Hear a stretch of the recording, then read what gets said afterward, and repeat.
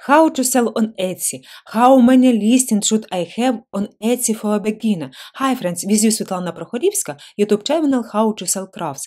First, about the recommendation of the Etsy manager regarding the number of listings, and then mine. What did the manager say in March uh, 2023?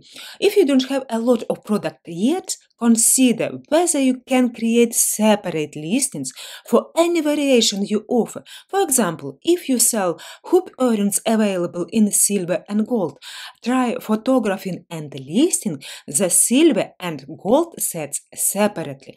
Additional listings also allow you to experiment with the keywords uh, which may increase the chance of getting discovered by shoppers searching on Etsy and other search engines.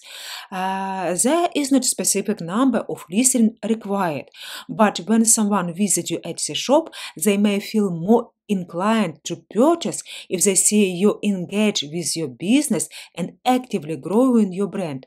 Conclusion from Etsy Manager recommendations. Add as many listings as you can, your maximum uh, number. My recommendations.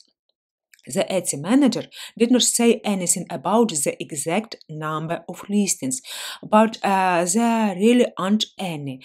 Uh, the main tip for your business is to analyze to competitors.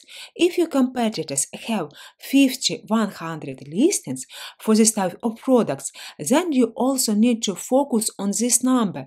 Do not forget that Etsy is an online store and the search engine compares you with your competitor and decide who has enough products for the customer to make a purchase.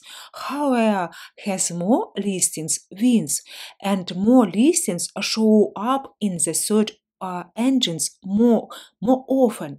I agree uh, with the uh, words of the Etsy manager. The more listings, the better. Subscribe to my YouTube channel How to Sell Crafts with love from Ukraine, Svitlana Prokhorivska, and watch my next video. Bye bye, guys!